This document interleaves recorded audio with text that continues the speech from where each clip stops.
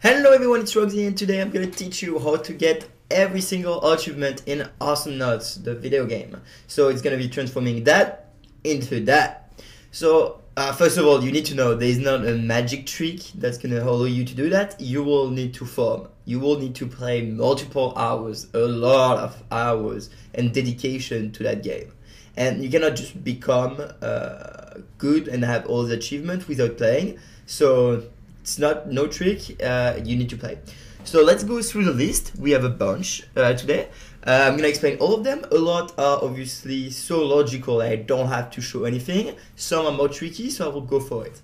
So obviously, one one game session. It's pretty self-explanatory. Collect the solar same, unlock three character, make the first kill of the session invite someone, you just go to the top right and you invite a friend of yours, kill 10 enemy Awesomenauts in the game, it's easy. The only one tricky on that slide would be uh, to kill an enemy without buying anything.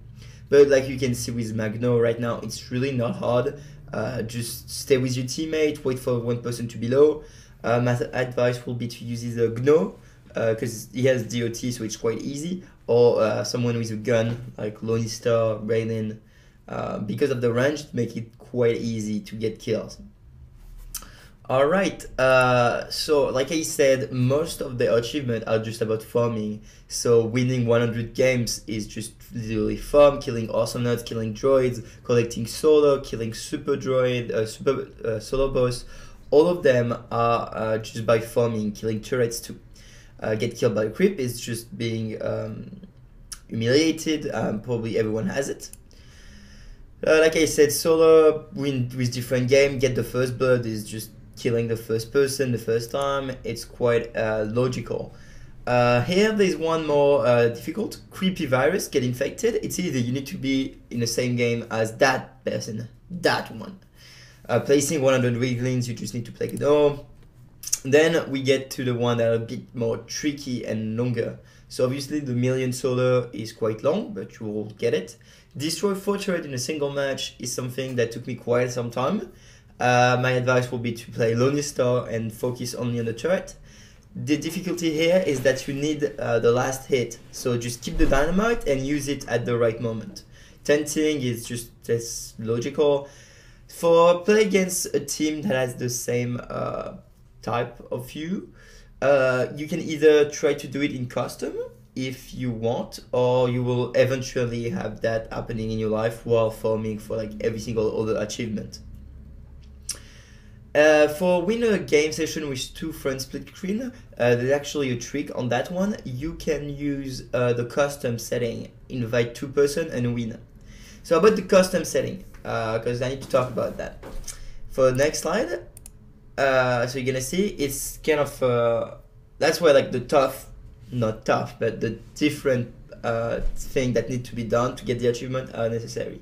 And it's important for you to understand that uh, you cannot cheat on Awesomenauts, meaning that you cannot just go in custom, change the roles, and then expect the achievement to unlock. For example, you cannot just uh, create a bot match with no bot and destroy all four turret by yourself. You will not get the achievement.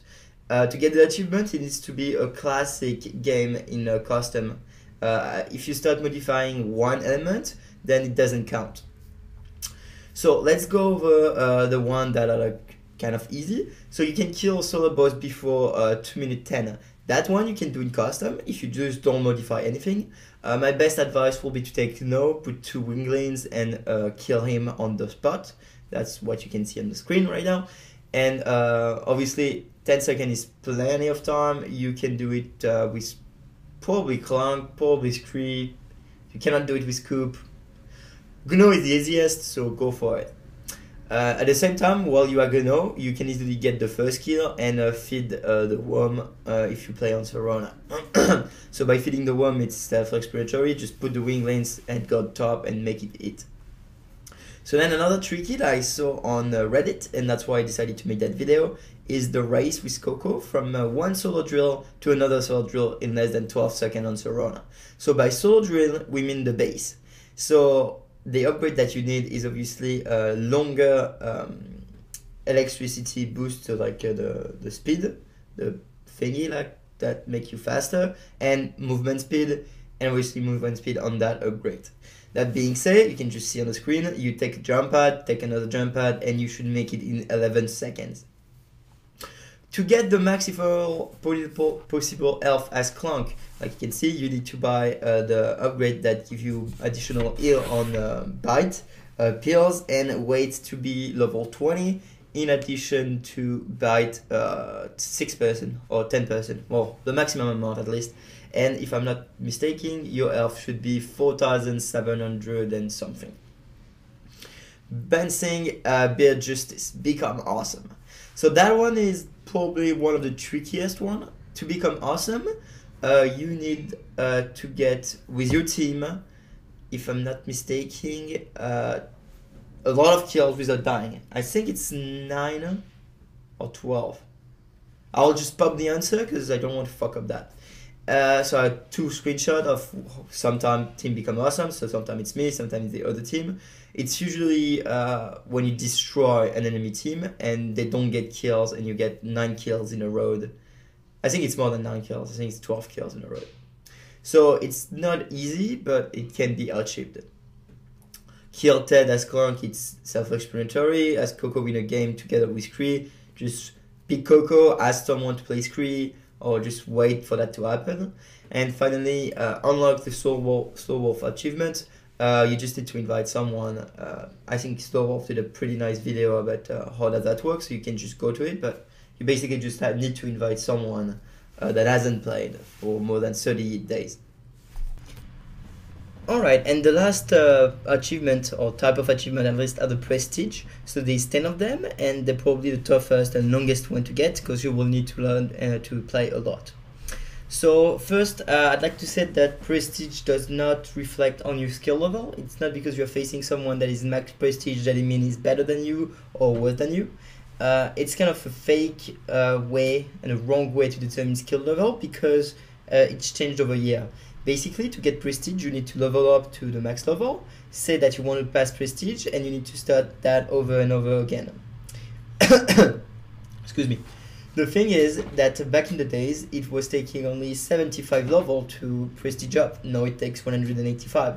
So the time that you need to put into prestiging up has increased drastically. That's why it's not really like relevant of your skill level. However, so I'm gonna teach you uh, so there's a way to prestige faster. So basically, you prestige by getting uh, XP at the end of every game. You get XP based on four characteristics: the number of soda that you got during the game, uh, if you won or if you lost, uh, if you're random, and if you played split screen. So uh, if you play normal game and uh, you play it legitly, you will get around uh, 20 to 45,000 XP with, within a game. And it's uh, the only normal way, legit way, without kind of cheating, like people say, to prestige up. It's long, it's painful, it takes time, but it's true, meaning that you actually learn how to play the game. So for me, that is the best way to prestige up, and you should not do what I say after. I'm saying it because I want the guide to be complete, and uh, if I um, if I don't say that, someone is gonna say it in the comment section, and it's gonna be fake. So you have two other different options then to level up. Both require you to go into the custom match. So if you modify custom, uh, you're gonna lose uh, the win uh, bonuses because it's gonna be decreased, and you're gonna lose the solar bonuses. However, you can easily finish the game within 10 seconds uh, thanks to the new uh, settings and everything, you can just put three person on a split screen. To do that, you either need to change the key configuration on the option or plug the Xbox controller for the third person. And uh, you just change all the setting in order to have no opponent, no turret, more damage, uh, everything but more movement speed, and you just rush base. You will get uh, an average of, um, I'd say 5,000, 6,000 for every game. Uh, it requires 20 seconds to do a game, so that's basically how you can farm prestige. Uh, I think it's a stupid idea, but people probably do it because I did it differently, but I did something similar back in the days. Mine was way more complicated and intense, but whatever. And uh, so yeah, so that's a way to do it. Uh, I agree, it's bad, but Ronimo didn't uh, find a solution to that yet. So maybe by posting that video, they will uh, figure something out. And uh, the other way is uh, different. It's uh, it's still in custom, but you don't don't change any roles. So you will still have three person on your own skin. You will uh, pick up random. You will kill uh, your enemy and destroy the turret because it's a legit game and you didn't like change all the roles. Uh, you will get the bonus uh, for win and you will get the solar. So you will get around. Mm, I'd say 30,000. Uh, the number will be on the screen. 30,000 XP every game, and it requires around 5 minutes to do a game. Uh, it's still cheating, cheating because it's just uh, you going versus bots on level 0 and rushing base. But at least you have the decency to face a fake opponent and learn to like use your AA, use your skills instead of just going forward and rush base. Uh, I think the f- best option is obviously the first one, since uh, it, re- it requires you to play real game, learn about the gameplay, the mechanics, and enjoy the game. There's no point to like be max prestige if you don't deserve it. Uh, it's just dumb. Like any any person with three hours could like be that, but it, it's not fun. So I don't think you should be doing those two options. But they're available for you, so I'm giving them out uh, anyway. That being said, uh, yeah, that being said, uh, prestige doesn't reflect on your skills. You can check on the leaderboard. You can check on the rank. Uh, there's the I think 2,112 person with max prestige out of the 20,000 registered on leaderboard right now. If you look at top 20, a lot never passed prestige. A lot just stopped after prestige one. It, it's not a big deal, but whatever. No, that's it. You know it. You got all the achievement. Congratulations. You are awesome. You have mastered the universe and you can say that you have 100% completed Awesomenauts, even though obviously it's not the case since it's a MOBA.